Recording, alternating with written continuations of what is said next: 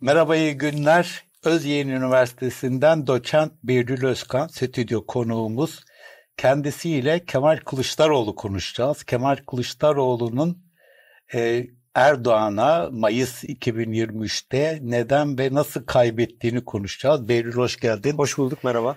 Yıllar önce senle ortak gazetecilik yaptık. Sonra evet. sen akıllılık edip akademiyi tercih ettin.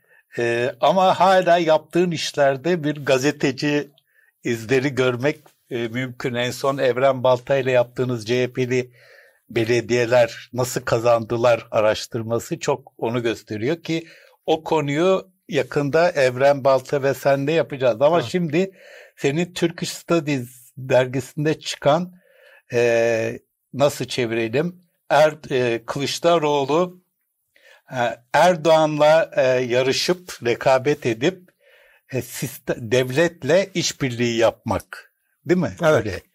E, Kılıçdaroğlu neden e, ana muhalefet lideri olarak kaybetti? Evet. Şimdi önce şunu söyleyeyim ben şahsen e, o seçimden sonra Kılıçdaroğlu üzerine çok fazla bir şey yazmadım, söylemedim, e, imtina ettim. Orucumu bozuyorum. Hı hı. Çünkü çok iyi bir yazı. Onun için öncelikle teşekkür ederim. Bu Türkçe olacak mı? Ee, bu hayır bu şekilde kalacak. Eyvallah. Tamam ama yine de insanlar bir şekilde ulaşabilirler. Neden böyle bir yazı kaleme almak istedin? Yani yazı diyorum da bu bir köşe yazısı değil, bilimsel makale. Evet, 24-25 sayfa bu hakemli e, ve Turkish Studies'de hani bizim alanda e, Q1 dediğimiz çok prestijli akademik dergilerden bir tanesi. E, şimdi yani bu yazı aslında e, son e, 13 yılda Kemal Kılıçdaroğlu'nun e, CHP Genel Başkanlığı'na odaklanıyor. E, ve çıkış noktası şu aslında.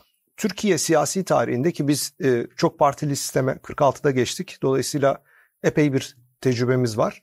E, Türkiye siyasi tarihinde, Cumhuriyet tarihinde ana muhalefette bu kadar uzun kalan başka bir siyasi parti lideri yok. 13 yıl kesintisiz ana muhalefet partisi lideri ve 5 genel seçim e, yaşadı. Ve e, kaybetti. Ve kaybetti. 5 genel seçimi de kaybettiği gibi e, son e, Cumhurbaşkanlığı seçiminde e, de Erdoğan'a karşı yarışıp kaybetti. Dolayısıyla Kılıçdaroğlu döneminin bir e, eleştirel bir e, analizini, akademik değerlendirmesini yapmak istedim ben burada. E, ana çıkış noktam bu. Dolayısıyla e, neden Kılıçdaroğlu başarısız olduğu anlayabilirsek biz bundan sonrasını da e, öngörmek e, şansımız olacak diye düşündüm. Ve e, Kılıçdaroğlu dönemine yakından bakmaya çalıştım. Tabi bunu yaparken aslında Kılıçdaroğlu'nun 2002 öncesi yani parlamentoya CHP'den girdiği dönemine de odaklanıyor makale. Ve Kılıçdaroğlu'nun 13 yıl boyunca gösterdiği performans ve CHP'nin oylarını 22-26'ında bandında tutması ve özellikle son 7-8 senede Türkiye'de yaşanan ekonomik sorunlar, siyasi sorunlar, demokraside gerileme e, ve e, Adalet ve Kalkınma Partisi'nin ve Erdoğan'ın güç yitirmesine rağmen neden iktidarda kaldığı üzerine çok sayıda makale yayınlandı. Ama bu makalelerin hemen tamamı iktidara yönelik değerlendirmelerken bu makale çok az sayıda bunda ana muhalefetin rolüne odaklanan bir makale olarak Anladığım çıktı. kadarıyla e, bayağı bir uğraşmışsın bilgi almak için. Çünkü bütün bu süreçte Kılıçdaroğlu ve o dönemin CHP'si üzerine çok fazla bir şey yapılmamış. Evet çünkü buradaki aslında akademinin çıkış noktası genel olarak hani e, Türkiye'de rekabetçi bir otoriterliğe gidiyor sistem. E, 7 son 7-8 senede. Dolayısıyla muhalefete muhalefet etmemek adına bu aslında basında da e, gazeteciler arasında da böyle bir anlayış vardı. Akademide de böyle bir anlayış vardı. Yani ana bir sorun rekabetçi otoriterliğe gittikçe otoriterliğe giden bir iktidar varken muhalefeti niye e, şimdi e, mercek altına alacağız diye hareket etti birçok akademisyen ve gazeteci ve Kılıçdaroğlu aslında burada bir e, dokunulmazlık kalkanı kazandı kendince. Yani yaptığı birçok hata eleştirel gözlerden uzak tutuldu. Ya şimdi bu kadar otoriterlik varken Türkiye'de ana muhalefet partisi niye eleştirelim?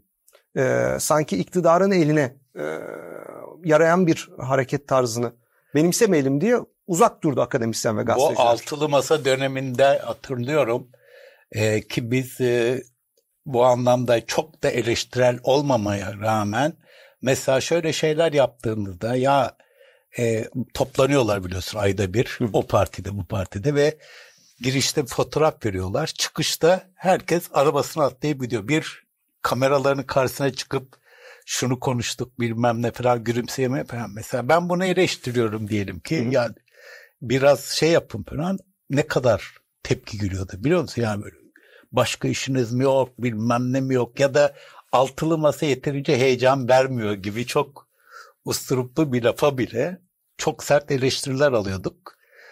O dediğin koruma şeyiyle. Şimdi akademi e, de o dönemde yani sizde de yayın e, takip ettiğim kadarıyla işte Berk Esen, Burak Bilgen Özbek bunlar akademik anlamda altılı masa sürecini o dönem o dönem eleştirdiler. Sosyal medyada olsun veya çıktıkları programlarda. Onlar da ciddi kendilerince baskı gördüklerini düşünüyorum muhalefet cenahından. Onlar yüzünden ben de baskı gördüm ama onlara pes etmedik. Çok şükür. Neyse şimdi sen Kılıçdaroğlu'yla da konuştun. Hı hı, evet. Ne zaman konuştun? Ee, Nisan sonunda, Nisan sonu Mayıs başında Ankara'daki bu ofisinde röportaj yaptım. Bu makaleyle ilgili kendisine böyle bir makale yazacağım. yani. Bayağı bir uzun konuştun. Evet bir iki saatlik bir konuşma oldu. Ee, yalnız ben bu makaleyi yazmaya yani o makalenin üzerinde de zaten e, yazmaya yerel seçimlerden önce başladım. Yani yerel seçim, Ocak ayında ben bu makaleyi Turkish Studies'e gönderdim. Dolayısıyla ortada bir yerel seçim başarısı yok. Yani bu makale yerel seçim sonuçlarından sonra yazılmış bir makale değil. Hmm. Yani e, evet aa bakın işte CHP %37 alıyor bunu. Demek ki şimdiye kadar sorumlusu Kılıçdaroğlu'dan hareket etmedi bu makale. Bu makale aslında Mayıs 28 Mayıs seçimlerinden sonra yazmaya başladım ben bunu. 6 ay sürdü. Çünkü ciddi arşiv çalışması da var içinde. Ee, Ocak ayında gönderdim. Ve hakem süreci çok uzun sürüyor bizim akademik yayınlarda. İşte 7 ay sürmüş. Şey. O arada e, yazdıktan sonra hakem sürecinde ikinci revizyon öncesinde revize edildi makale. Hakemlerin görüşleri e, doğrultusunda. O arada Kemal Kılıçdaroğlu da röportaj yaptım ve ekledim makaleye kendisini. Ama şeyi e, e, yerel seçim yok. Yerel yerel seçim sonuçları var aslında. Son bölümde değiniyorum %37 tamam da ama yani Tabii. mesela yerel seçim sonrası çalışmaya başlamış olsaydın herhalde daha farklı bir şey çıkar. Neyse. Ama bence bu böyle olması daha yani bilimsel anlamda makaleyi daha sağlam yapıyor. Benim görüşüm Peki, bu. Peki e, nasıl özetlersin? Şimdi bir sistemden bahsediyorsun, devletten bahsediyorsun. Kılıçdaroğlu'nun Erdoğan'a muhalif ama devlete değil olduğunu söylüyorsun. Evet. Ama diyorsun halbuki devlet Erdoğan. Evet. Ya burada aslında benim çıkış noktam şu. Kılıçdaroğlu'nu Türk siyasi tarihinde diğer bütün siyasi liderlerden, e, iktidara gelmiş siyasi liderlerden ayıran çok önemli bir e, istisnai bir durumu var. Kılıçdaroğlu bir bürokrat, üst düzey bir bürokrat ve teknokrat ve 1971 yılında giriyor e, Maliye Bakanlığı'na ve Maliye Bakanlığı'nda e, yükseliyor. Oradan Bağkur ve SSK'nın başına geliyor. Dolayısıyla Kılıçdaroğlu'nun hareket tarzı ben makalenin başında da onu kullandım. Hep devletle ve müesses nizamla işbirlikçi bir hareket tarzıyla hareket ediyor. Ve bu ona bir bürokrat olarak kazandırıyor. Yani SSK gibi 60 binden fazla Türkiye'nin en büyük kamu kurumlarından birinin başına geçiyor. Ve sol görüşlü biri ama Demirel'in başbakan, Özal'ın cumhurbaşkanı olduğu bir iktidar yapılanmasında müesses nizam ve devlet ve iktidar güveniyorlar Kılıçdaroğlu'na. Üstelik Tunceli'li bir olmasına rağmen. Dolayısıyla e, Kılıçdaroğlu'nun bir bürokrat olarak hareket tarzı hep sistemle ve iktidarla işbirliği içinde hareket ederek e, yükselmek. E, ben kendisine sorduğumda e, 2002 ve e, CHP başkanlığına geldi. Çok kritik bir söz etti. Ben onu e, makalede ekledim. Ben dedi CHP'ye girdiğimde parti nedir, particilik nedir bilmiyordum. Ya bu şu siyasi parti teşkilatlanmasını bilen biri değil. E, kitleleri arkasına alarak hareket eden bir siyasetçi de değil. E, dolayısıyla bu haliyle Demirel, Özal ve Erdoğan'dan çok farklı. Yani Demirel, özellikle Demirel, Ecevit, e, Erdoğan, Erbakan. Erbakan bunlar popülist liderler. Hem e, özellikle Erdoğan mesela rakibi e, Kılıçdaroğlu'nun parti teşkilatlanmasına çok önem veren bir lider. MSP Beyoğlu, sonra İstanbul, sonra Refah Partisi İstanbul İl Başkanlığı yani 1980'lerde Kılıçdaroğlu bir teknokrat olarak e, görev alırken Erdoğan particiliği e, sokakta öğrenmiş bir lider. Şimdi dolayısıyla CHP'nin genel başkan olduğu dönemdeki zaaflarına baktığımızda biz her seçimde neyi görüyorduk? Sandıklara sahip çıkamama. Yani CHP parti teşkilatını restore etme, ayağa kaldırma, o parti teşkilatıyla iktidara gelme gibi bir düşüncesi hiçbir zaman olmadı Kılıçdaroğlu. Sistemle anlaşarak, uzlaşarak, çeşitli iktidar e, odaklarıyla dirsek temasında olarak hep iktidara gelmeyi bir gün düşündü. Bu 2011 yılına kadar kendisi açılmasından da başarılı olmuş bir strateji. Yani CHP'nin genel başkanlığına gelmesi de Kılıçdaroğlu'nun e, bir teşkilatı, CHP teşkilatını organize ederek gelmiş biri değil. Yani doğru zamanda doğru şartları beklerse orada genel başkan olabileceğini düşünmüş ve işte Baykal'ın o, o, hmm, vid, video kasetinin ortaya çıkması ve orada da mesela hareket tarzı çok ilginç. Son 5 güne kadar adayım diye ortaya çıkmıyor. Önder Sav ve partinin e, diğer ağır isimleriyle dirsek temasında ve yokluyor. Yani e, kurultaya girerse karşısına Baykal çıkarsa yenebilir mi yenemez mi diye. Ve o önemli isimler evet sen yürü bizim adayımızsın biz seni destekleyeceğiz dediklerinde 5 gün kala ben adayım diyor ve e, kazanıyor Ben o kurultaya, kurultaya gitmiştim. Canlı yayın NTV'deydim o sırada. NTV'ye yorumlamıştım. Çok acayip bir atmosfer vardı ve şeydi yani e, beklenen kurtarıcı Gandhi değil mi? Öyle bir hava vardı. Evet. Yani sadece tribünlerde değil medyada da öyle bir şey vardı. Ama diyorsun ki bunların hepsi e, kazanılmıştan ziyade e, edinilmiş diyebiliriz ya da verilmiş bir şey. Yani e, parti içindeki güç odaklarıyla işbirliği yaparak e, yükseliyor. E, yani kitlenin gücünü veya teşkilatın gücünü teşkilatta hiçbir ağırlığı yok. Yani genel başkan vekili olması ama aslında Baykal'ın belki de onu partideki önemli meclisteki önemli konuma getirmesinin sebebi de Baykal açısından parti teşkilatının gücü olmaması. Kılıçdaroğlu kontrol, ede, kontrol yani. edebileceği bir siyasetçi olarak yükseltiyor onu. Ee, şöyle bir şey e, hep duyarım. E, senin makalede var mıydı? Çok emin değilim şimdi. E, Kılıçdaroğlu Anadolu'yu gezdiğinde falan yani gittiği zamanlar parti teşkilatlarına uğramazmış. Onu biliyorsun değil mi? Evet bunu bana CHP'liler de söyledi. E, bunu çünkü şimdi mesela Özgür Özel tam tersine önce şeye gidiyor. Parti teşkilatlarına gidiyor. Hatta benim bildiğim grup başkan vekiliyken dahi tüm ülkedeki parti teşkilatları değişik vesilelerinde gezmişliği vardı. Ve şimdi de tekrar teşkilatlarla başlıyor ama Kılıçdaroğlu'nun ki ben de kendisinin birkaç Anadolu'da falan yerlerde izledim. Hiç Kılıçdaroğlu'yla beraber CHP binasına girdiğimi hatırlamıyorum. E, yani hareket etme tarzı yani siyasi parti teşkilatından gelen biri değil. İçinde yer almamış. E, yerelde partinin nasıl hareket etmesine gerektiği tecrübesi yok. Yani mesela bu yerel seçimlerde biz Kastamonu ve Afyon örneğini önce özellikle Kastamonu'da e, net olarak görüyorsunuz CHP'nin tarihinde uzun dönem milletvekili çıkartamadığı bir yerde parti teşkilatı güçlü olduğu zaman %50 oy alabiliyor. Bu Kılıçdaroğlu döneminde yaşanmamış olmasını, bu yerel seçim başarısını şey yap açısından ve tesadüf olmadığını düşünüyorum ben. E, yani bu, bu son yerel seçim başarısı bile Kılıçdaroğlu'nun genel başkanlıktan gitmesinin önemli bir etkisi var bunda. Şimdi e, son seçime girecek olursak hı. anladığım kadarıyla şöyle bir şey var e, ki bunu söyleyenler olmuştu. Erdoğan karşısında Kılıçdaroğlu'nu istedi. Hı hı. Sen de böyle düşünüyorsun evet. anladım. Evet. Ve bunu sağladı diyebiliyor muyuz?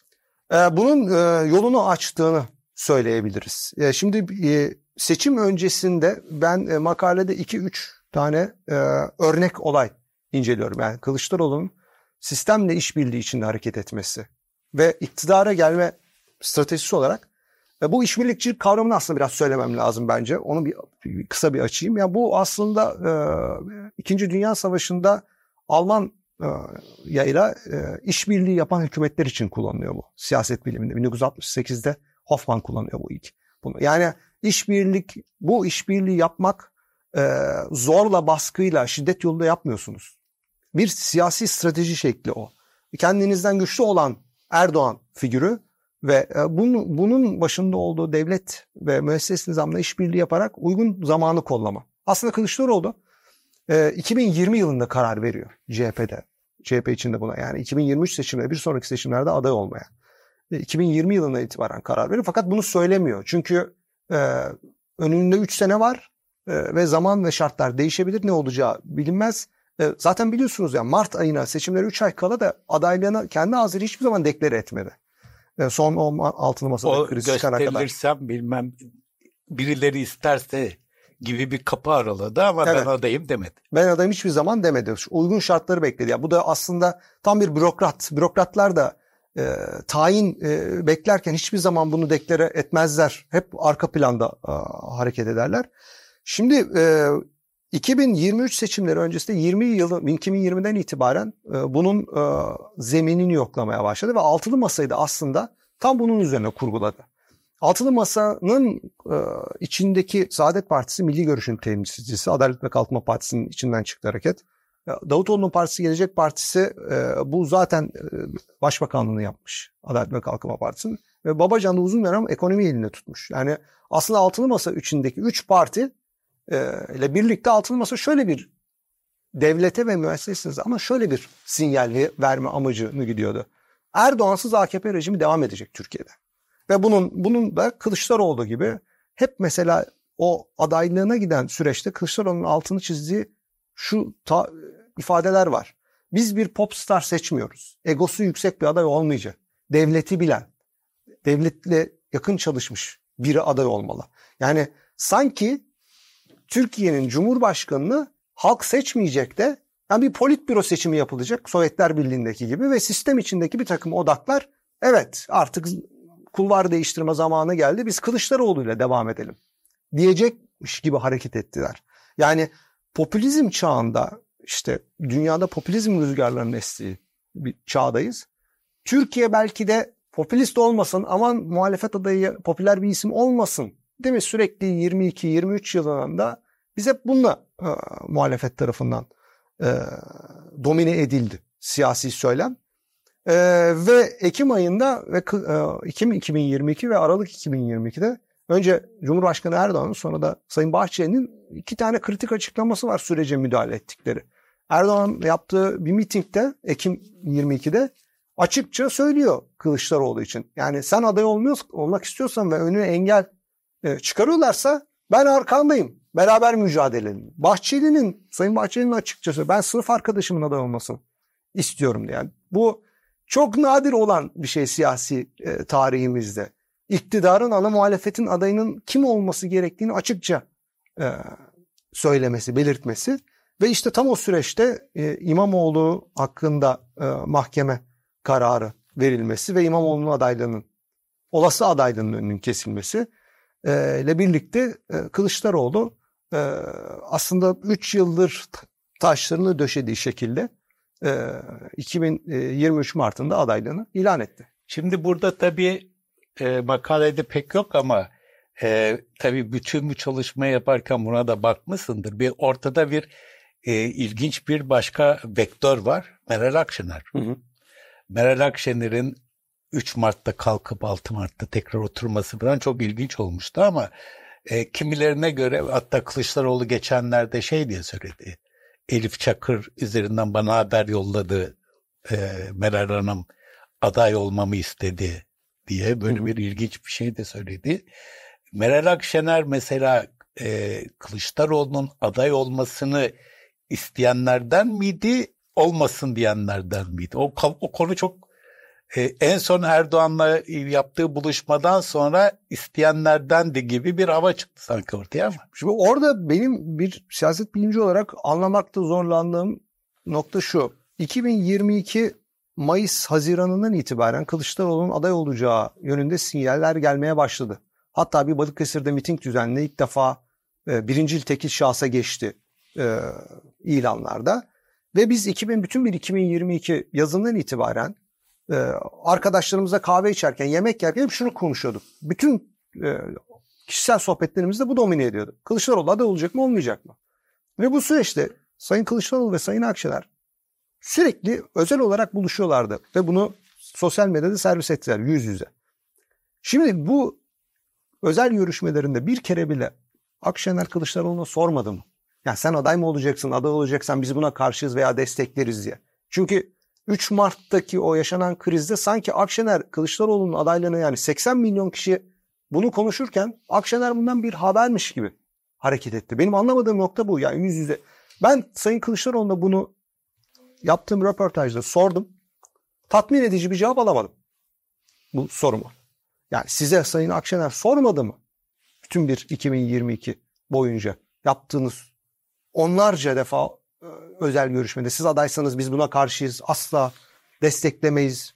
Bizim seç yani kendisi açısından Akşener'in e, kamuoyu araştırma neticede de böyle oldu. Kılıçdaroğlu'nun aday olması yüzünden büyük oranda İyi Parti'nin oyları düştü. Çünkü İyi Parti seçmeni Kılıçdaroğlu'nun adaylığının önemli bir kesimi bir kesimi desteklemiyordu. Onlar e, Mansur Yavaş birinci tercihleri ya da İmamoğlu. Zaten bu yüzden e, İyi Parti'de bu ikisini Cumhurbaşkanı adayı olmasında ısrar etti. E, kendisi açısından irrasyonel bir karar olabilir Kılıçdaroğlu'nun adaydı. Ama bunu bir sene boyunca hiç dile getirmemesi bana çok çarpıcı geliyor Kılıçdaroğlu'ya yaptığı Şimdi görüşmede. tekrar şeye geçecek olursak özetle diyorsun ki Kılıçdaroğlu kendisini halkın değil de devletin seçmesini bekledi, ona yatırım yaptı ve anlaşıldığı kadarıyla da devletten birileri hangi devletse ve hangi birileri ise ona tamam artık sen de çalışacağız dediler ki herhalde adaylıkta ısrar etti. Öyle bir sonuç çıkartabiliyoruz değil mi? Şöyle yani benim ana söyleme ana fikri makalenin şu aslında e, Kılıçdaroğlu'nun genel başkanlığı boyunca yaptığı çok kritik hamleler var. Mesela dokunulmazlıkların kaldırılması. Evet. E, anayasaya aykırı ama evet diyeceğiz. Arkasından YSK kararına karşı sert bir muhalefet etmemesi. Biz evet bu karar aykırı e, hukuka ama buna karşı değil biz 49 alacağız ve daha çok çalışırsak yaparız. Ee, böyle 3-4 tane çok kritik anda mesela sürekli şunu söylemesi. Sokakta siyaset yapmayacağız, sokağa çıkmayacağız. Biz sandığa odaklanıyoruz. Ve Türkiye'nin toplumsal muhalefetin, Türkiye'de çok ciddi çevre sorunları var. Çok ciddi ekonomik sorunlar var, işçilerin e, sorunları var, mülteci sorunu var. Buna karşı sokağa siz bir muhalefet partisi olarak sokakta siyaset yapmayabilirsiniz ama toplumsal muhalefeti de sokaktan çekmeye yönelik bir strateji güttü e, Kılıçdaroğlu.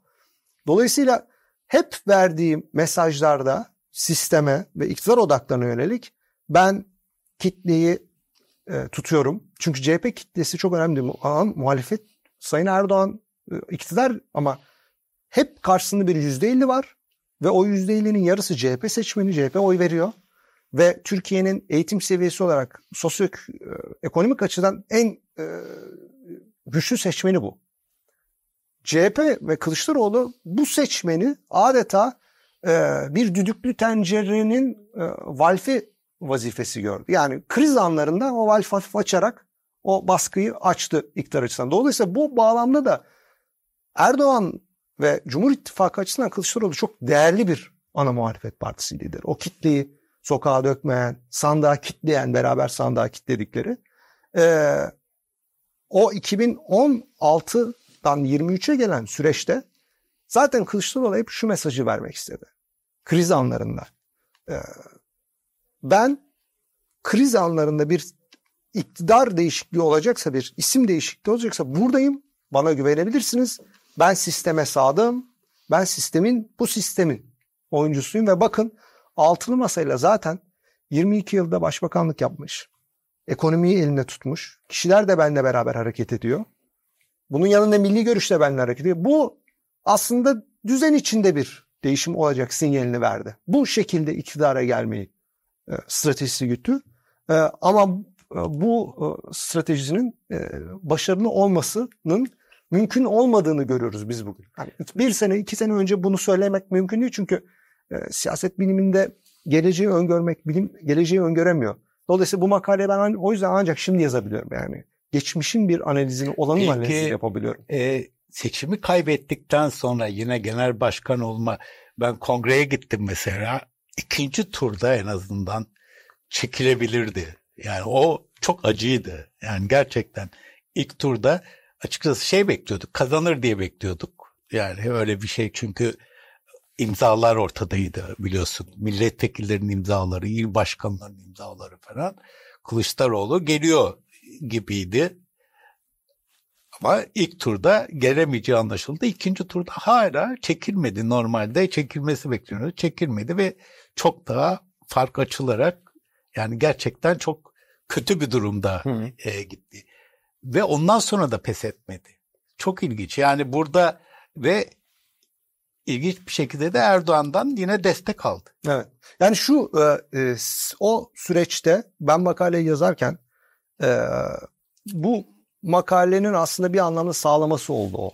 E, Mayıs ve Kasım hmm. ayı hatta bugün bile e, süren e, söylemi Kılıçdaroğlu ve tutumu. Yani 75 yaşında bir siyasi parti lideri ve 5 seçim kaybetmiş ve Erdoğan'a karşı yarışmış ve 2023'te de kaybetmiş. Niye bırakmıyor CHP Genel Başkanlığı? Yani 2028'de yapılacak 80 yaşında olacağı bir seçimde Erdoğan'ı yenebileceğini mi düşünüyor? Yani nedir beklentisi diye sordum. Ben o işbirlikçi kavramı onu da bence açıklıyor. E, çünkü bir bürokrat e, beklediği atama yapılmazsa önce küser ama kısa süre zarfında toparlar ve uygun şartlarda tekrar atanabileceğini düşünür.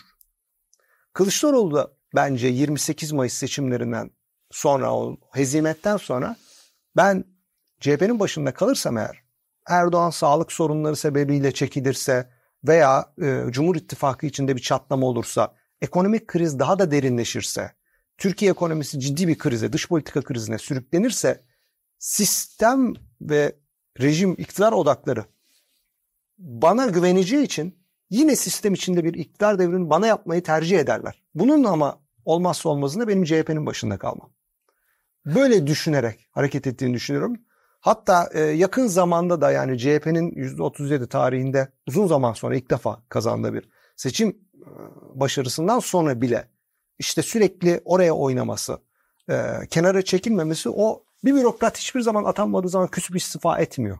E, 75 yaşında bile olsa hep bir iktidar ışığı, bir, bir atama, belki bir uygun şartlar gelecek diye bekliyor.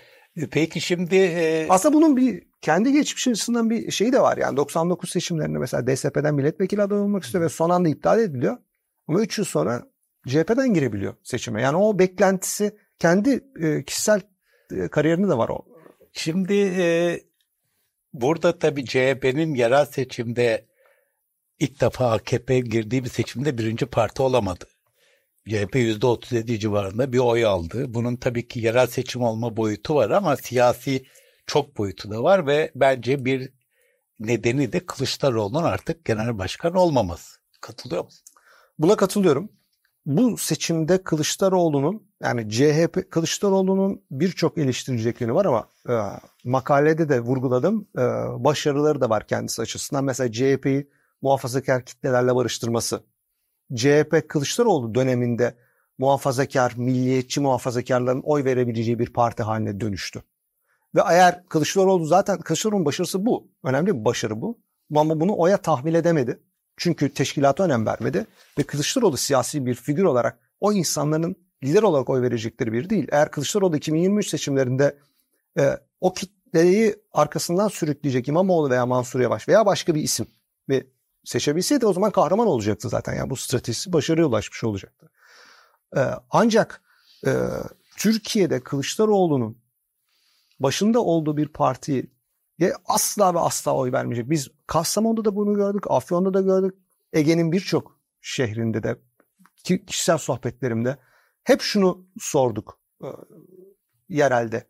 E, eğer Mart Mayıs 2023'te Kılıçdaroğlu'na başka bir aday olursa kazanır mıydı? Hep aldığımız cevap istisnasız evet oldu. E, ve bu seçim başarıları mesela Kastamonu'da %51 alması, Afyon'da e, yine %50'nin üstüne çıkması CHP'nin. Bunda Kılıçdaroğlu'nun ayrılması var mı? Sorusuna alınan cevap evet oldu. Ee, Kılıçdaroğlu'nda 13 yılın getirdiği çünkü bir de şunu da unutmayalım. Ee, bütün bir e, iktidar yanlısı medya 13 yıldır hedef gösteriyor Kılıçdaroğlu. Eleştiriyor demediklerini bırakmıyor. Korkunç bir kendisi açısından yıpranmışlık da var. Ee, dolayısıyla değişim olması değişim daha CHP'de emekleme e, aşamasında ama lider değişimi bile bu başarıda önemli etkisi oldu. e, yerel seçimler açısından. Peki şimdi mesela normalleşme ya da e, Erdoğan yumuşama diyor, e, Özgür Özel normalleşme diyor. Sırf normalleşme dediği için, bunda ısrar ettiği için Erdoğan'ı AKP'de ziyaret edip sonra da CHP Genel Merkezi'nde ağırladığı için falan bazı muhalifler de Özgür Özel'e Erdoğan'la işbirliği Hı. yapmak. Hatta ne diyorlar? Erdoğan'ın CHP sorumlusu diyenler bile var. Katılıyor musun? E, buna katılmıyorum. Çünkü bir kere Özgür Özel'in e, genel başkan olmasının üzerinden çok kısa bir zaman geçti. E, ve bu kısa zamanda da önemli bir başarı elde etti kendisi açısından. Parti yeresi yerel seçimlerde birinci sıraya yükseldi. 37 ve CHP'nin alamadığı. Ve bazı yerlerde de yani Kütahya mesela yani en çok e, sürpriz olarak karşıladığım bir yer. Yani öyle bir yerde bile belediye başkanlığını kazanması. Ama yani Ege'deki başarısı Özgür Özel'le direkt ilgili olduğunu düşünüyorum. Çünkü kendisi Ege'li bir siyasetçi ve CHP'de yıllar sonra ilk defa Ege'li bir lider var. Dolayısıyla bu Ege seçmeninde, Ege'li seçmende ciddi etkili olduğunu düşünüyorum. Ee, ben buna katılmıyorum. Yani Özgür Özel için bir değerlendirme yapmak. Bu çünkü bu makaleyi okuyan birkaç arkadaşım da aynı şeyi sordu. Yani Özgür Özel için de bu işbirliği kavramını kullanabilir miyiz diye. Bunun için çok erken dedim. Yani Özgür Özel için e, çok daha e, beklememiz lazım, görmemiz lazım. Çok e, yeni bir lider. Şeyi gördüm makalede bu o montaj video meselesi, hı hı. Karayılanlı falan video meselesinin evet çok etkili olduğu muhakkak. E, orada e, gafil avlanmış gibi bir tespit var. Yani Kılıçdaroğlu evet. bunu beklememiş, bu tür bir şeyi yani kumpası, komployu beklememiş olabilir mi hakikaten? Orada bence kendisi açısından e, hayal kırıklığı olan e, şu oldu, şu dinamik oldu. Erdoğan'ın kendisine karşı bu e, montaj videoları e, TRT gibi devletin kanalında yayınlanması karşısında devlet içinden hiçbir bürokrat böyle de şey olmaz. Yani bu Cumhuriyet Halk Partisi'nin genel başkanına yapılamaz deyip buna dair hiçbir açıklama yapmadı. Yani kendisi devlet içindeki bir takım insanların desteğini aldığını düşünürken aslında o süreçte bunun e, hiçbir e, gerçekçiliği olmadığını öğrenmesi hayal kırıklığı yarattığını düşünüyorum ben kendisinde. E, Bu kadar saf olabilir mi? E, yani saf değil ama işte e, siyaset etme stratejisi buna dayanıyor. Yani kitlelerle değil. E, yani şunu söylemek lazım onu ben makalede de vurguluyorum. Demirel Sunay'ı Cumhurbaşkanı yaptığında Genelkurmay Başkanı 1966'da Genelkurmay Başkanı Cumhurbaşkanı yapıyor. Özal evrenle işbirliği yapıyor. Yani Özal e, darbe hükümetinin ekonomiden sorumlu başbakan yardımcısı. Dolayısıyla işbirliği yapıyorlar ama iktidara gelmek, stratejileri hep kitlelere dayanmak, halkın içinden çıkmak. Kılıçdaroğlu Erdoğan da benzer şekilde. Erdoğan'ın da işbirliği, Erdoğan'ın Kenan Evren'e 1990'lı yıllarda ben hatırlıyorum. Yani sizin iktidarda olduğunuz dönemde e, keşke ben de belediye başkanı olsam çok verimli çalışırdık dediği. E, Erdoğan'ın da iktidar odaklarıyla, devlet içindeki iktidar odaklarıyla işbirliği yaptığı dönemler var. Ama bunu bir iktidara gelme stratejisi olarak hiçbiri kullanmadı. Kılıçdaroğlu iktidara gelme stratejisinin devlet içindeki odaklarla işbirliği Yani yapar. öncelik meselesini diğerleri öne halkı ya da milleti arkasına devleti koyarken Kılıçdaroğlu öne devleti arkasına milleti. Evet, evet. Ecevit yine yine keza Ecevit. Kara olan lakabıyla ama kitleleri yani kitlesel gücünü ve partinin gücünü, teşkilat gücünü o işbirliği yaptığı dönemde belki de e, bir e, koz veya e, o orada kullanıyor e, rekabette veya e, pazarlıkta devlet içindeki odaklarla. Ama Kılıçdaroğlu onun o değil o kitlesel gücünü parti teşkilatı bunu başka türlü açıklayamayız çünkü CHP her seçimde e, sandıklara sahip çıkmak konusunda e, çok ciddi fahiş hatalar, sorunlar yaşadı. Hep Kılıçdaroğlu düzelteceğiz, yapacağız ama hiçbir zaman ben mesela Kılıçdaroğlu'na sordum niye partiyi kitlelere açmadınız, gençlere açmadınız diye sorduğumda aldığım cevap çok çarpıcıydı. Ne dedi? İnternette fon var, isteyen üye olabiliyor dedi. Yani e, hani bu bile yani 13 yıl genel başkanlık yaptıktan sonra yerelde teşkilatlanmanın nasıl işlediğine dair pek e, de deneyimi olmadığını gösteriyor. e, konuşacak çok şey var ama şeyi de sormadan edemeyeceğim. E, ikinci tur öncesi Zafer Partisi ile yaptığı, Ümit Özdağ'la yaptığı protokol vesaire anlaşma ve hemen büyük bir hızla e, sığınmacı karşıtı bir dil vesaire şu bu. O tam canavliyle yapılmış gibi geldi bana. Sen ne düşünüyorsun? Ee, orada bence yani 14 Mayıs akşamı sonuçlar geldiğinde Erdoğan'ın %49 küsür oy aldığı ortaya çıktığında seçim kaybedilmişti. Yani iki turlu, iki tura iki tura gidecek bir seçimde birinci ayakta bir adayın 49 küsür aldığı bir durumda arkadan gelip geçme ihtimaliniz yok orada. Yani matematik olarak mümkün değil. Sinan Oğan orada Kılıçdaroğlu'nu desteklese de mümkün olmayacaktı zaten o. Yani matematik olarak imkansız oradaki. Dolayısıyla bunu Kılıçdaroğlu da biliyor. Kılıçdaroğlu buna bilemeyecek derece bir siyasetçi değil. Orada bence Ümit Özdağ'la yaptığı e, müzakere ve ittifak yani onu da kendi e, yanına almasının tek bir sebebi var. İkinci turda alacağı oyu olabildiğince yüksek çıkararak çünkü biliyor ki 28 Mayıs sonrasında genel başkanlık e, sorunu çıkacak partide. E, ben %48-49 aldırdım. Dolayısıyla benim gücüm buradan geliyor diyebilmek için yaptı bu e, seçimi. Yoksa e, iktidara gelemeyeceğini biliyordu. E, hatırlarsınız bir e, konuşması var e, sosyal medyada. Gitmiyorum burada kalacağım diye masaya vurdu.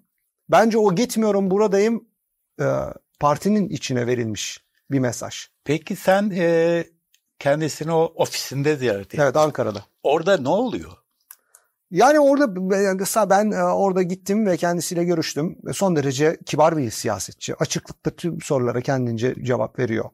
Ee, ve hani e, kendisiyle ilgili böyle bir makale yazacağımı da söyledim. Yani, analiz edeceğim onun dönemini. Ee, yani bu da hani bunu da ben açıkçası çok e, tuhaf buluyorum. Yani e, CHP Genel Başkanlığı'nda 13 yıl kalmış ve e, bir kurultay sonucunda koltuğu kaybetmiş bir siyasetçi olarak ve Kılıçdaroğlu'nun anlarını yazması. Hani, e, kendi buna e, çok önemli. Çünkü 13 yıl ana muhalefet partisi liderliği yapmış. Ama yani CHP içinde tekrar genel başkanlığına gelebilecek bir fırsat mı kolluyor? E, bunun zeminim yok mu bilmiyorum. Hani onu söyleyebilmem için elimde bir done yok. Ama yani açıkçası çok tuhaf buluyorum. Ancak bu yerel seçimlerde %37'nin küsurat oy aldıktan sonra CHP eğer buna dair bir beklentisi veya umudu varsa bunun da kırıldığını düşünüyorum ben yavaş yavaş. Valla ben geçenlerde adı lazım değil birisinin çok ciddi bir şekilde Kılıçdaroğlu'na destek verdiğini gördüm ve dedim ki yani yazık olmuş Kemal Bey'e. Bu böyleleri yani destek veriyorsa hakikaten vardır ya. Evet bir iki isim var öyle ben de fark ettiğim ama ama Türkiye siyasetinin hiçbir etkileri olmayan yani en azından CHP açısından hiçbir etkisi olmayan. Negatif etkisi olan kişiler bunlar. Evet yani onlara bakınca hakikaten durumun şey olduğu gözüküyor. Peki sonuç olarak e, şöyle söyleyelim. Bütün bu deneyimlerden sonra ortada bir e, yeni bir CHP var. Yepyeni CHP daha doğrusu. Çünkü eski Kılıçdaroğlu yeni CHP diyordu. Bu yepyeni CHP. E, şu ana kadar geçen sürece baktığın zaman ve gittiniz Evren Baltay'la da şehirlerde de dolaştınız vesaire. E, örgütlerin daha güç, e, dinamik olduğu falan bir yapı var. E, gerçekten e, toplumu arkasına alan bir CHP, stratejisini bunun üzerine kuran bir CHP'nin Türkiye'de bunca yıllık AKP iktidarını e, alt etme imkanını, potansiyelini gör, görüyor musun? Net olarak görüyorum bunu ben. Ee, yani eğer CHP önümüzdeki dönemde teşkilatlanmasına, örgütlenmesine yerelde. Çünkü yerelde teşkilatlanmak iktidarı getiriyor. Erdoğan da bunu çok en iyi bilen siyasetçilerden biri. E, hatta e, yani sizin de kitabınız var bilirsiniz 90'lı yıllarda Hanımlar Komisyonu kurması. Yani milli görüş içinde yaptığı çok kendisi açısından devrimsel adımlar var orada Erdoğan'ın. Teşkilatın gücünü çok iyi bilen bir siyasetçi. CHP'de benzer bir dönüşümün sinyallerini görüyoruz biz yerelde. Yani Burcu Köksal'ın Afyon'da, e, Hasan Baltıcı'nın Kastamonu'da, e, Ferdi Zeyrek'in Manisa'da %50'lerin e, üzerine aşan e, oylar alması tesadüf değil. Hem genel başkan değişikliği hem de aşağıda teşkilatta kitlelere açılması sonucunda gelmiş başarılar bunlar. Eğer CHP önümüzdeki dönemi teşkilata ve kitlelerle iletişimi işte grup konuşması, mecliste yapılan grup konuşması, grup konuşmasından verilen mesajlara değil de e, kitlelerle yüz yüze ve yerelde güçlü siyasetçiler. Çünkü bu da genel başkanların istemediği, çok arzu etmediği. Çünkü yerelde güçlü bir siyasetçi olunca bu merkez için siz AKP'de yaşanan en büyük sorun bu şu anda. Yereldeki bütün güçlü siyasetçiler tıraş edilmiş durumda. Merkez için sıkıntı sorun çıkartmamaları yüzünden. CHP'de yerelden çok güçlü siyasetçiler yükseliyor. Ee, bunun da sıkıntıları var. Görüyoruz biz e, yerelde e, konuştuğumuz zaman. Ancak bu güçlü isimleri ve güçlü teşkilatı CHP e, bir harmoni içinde tutabilirse e, çok büyük ihtimalle iktidar yolunun açık olduğunu düşünüyorum ben önümüzdeki yıllarda. Şimdi ben e, Ahmet Akın'la Balıkesir Büyükşehir Belediye Başkanı e, şey sordum. CHP kaç yıl sonra Balıkesir aldı dedim. İlk defa aldı dedim. Hı hı. Afyon'da öyle. Afyon'u bilmiyorum. Balıkesir mesela. Yani yine Balıkesir'de CHP'nin hep bir oyu vardır ama evet. hep sağ bir yer. Bilirdik. 74 yıldır Afyon'da hiç kazanamamış Merkez Belediye CHP. İlk defa kazanıyor ve %51 ile kazanıyor. Yani evet, evet. bütün diğer partilerden fazla oy almış. Evet. Behlül çok sağ ol. Ee, bayağı ufuk açıcı oldu. Ee, şimdiden sözünü aldık. CHP'nin yerelde nasıl kazandığı üzerine araştırmanızı Evren Baltay'la çok geçmeden e, yine onu da ayrıca yorumlayacağız. Evet, e, Özyeğin Üniversitesi'nden Behlül Özkan'la Kılıçdaroğlu'nun neden ve nasıl Erdoğan'ı yenemediğini ve CHP'nin bundan sonra önünün açık olup olmadığını konuştuk. Kendisine çok teşekkürler. Sizlere de bizi izlediğiniz için teşekkürler. İyi günler.